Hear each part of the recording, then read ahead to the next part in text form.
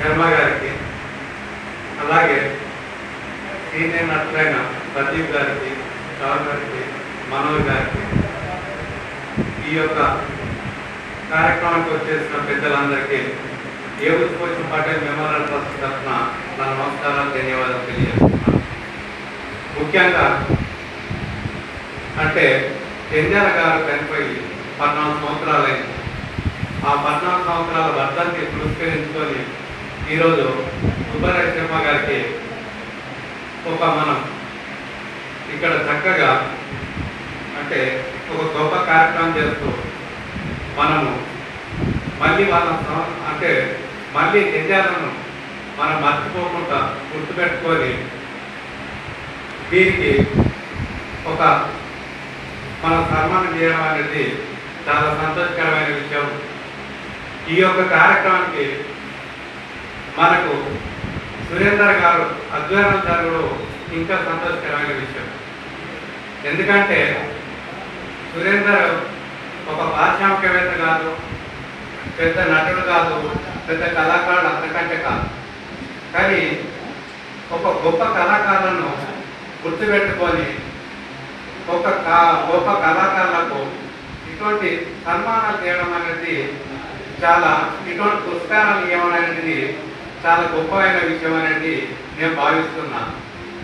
ముఖ్యంగా చెప్పాలంటే ఒక యాభై సంవత్సరాల క్రితము అంటే చిత్తూరు నాగయ్య అంటే యాభై అంటే ఒక డెబ్బై అంటే మన ఇండస్ట్రీ స్టార్ట్ అయినప్పుడు అంటే చిత్తూరు నాగయ్య లాంటి వాళ్ళు ఆ యాక్టర్ ఉన్నప్పుడు ఒక మన ఆంధ్రప్రదేశ్కు పరిమితమైన సినిమాలు.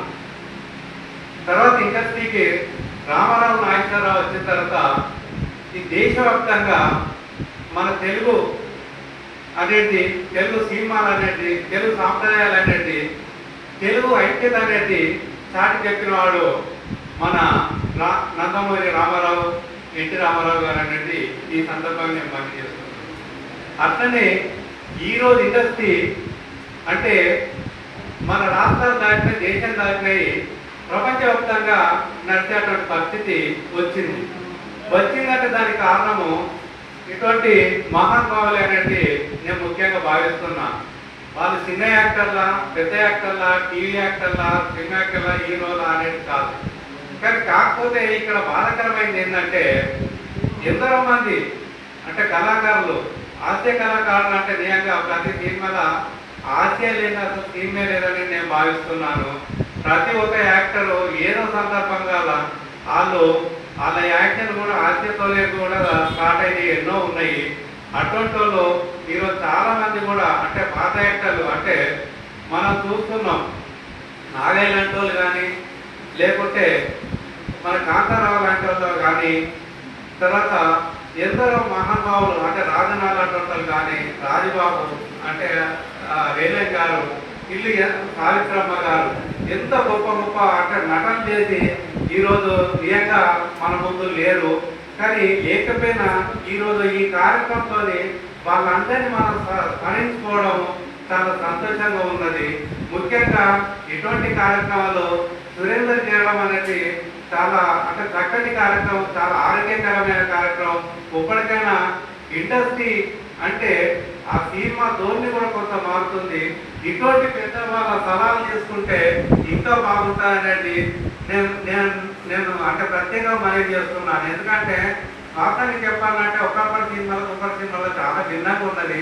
తర్వాత ఏంటంటే ఒక సినిమా అంటే ఒక ఇండస్ట్రీ అంటే ఒక ప్రభుత్వం చేయని పనులు అంటే వాస్తవం చెప్పాలంటే ఒక చైతన్యవంతం తీసుకొస్తుంది. ఒక మహిళలకు హక్కులు ఏంటిది? ఒక మనకున్న అంటే రైట్స్ ఏంటిది? ఎన్నో రకాలుగా అంటే ఇంత చైతన్యవంతులు అంటే ఒక కేవలం సినిమాలు అనేది నేను భావిస్తున్నాను. ఆరోగ్యకరమైన సినిమాలు అనేది భావిస్తున్నాను. అటువంటి ఆరోగ్యకరమైన సినిమాలు అంటే ఇటువంటి పెద్దల కాలాలు అటు ప్రభుత్వం కానీ ఇండస్ట్రీ కానీ పట్టించుకోవాల్సిన అవసరం ఎంతైనా ఉందని నేను భావిస్తున్నాను. సుబ్బారాయ శర్మకు ఇటువంటి పురస్కారం రావడం నేను వ్యక్తిగతంగా చాలా సంతోషపడుతున్నా. మరొకసారి సభాధ్యక్షులకు కానీ పెద్దలకు వేదిక ఉన్న పెద్దలకు కానీ వచ్చిన పెద్దలకు కానీ అందరికీ నా యొక్క నమస్కారాలు తెలియజేస్తూ ధన్యవాదాలు తెలియజేస్తూ థ్యాంక్ యూ సంఘ సేవలు పెట్టిన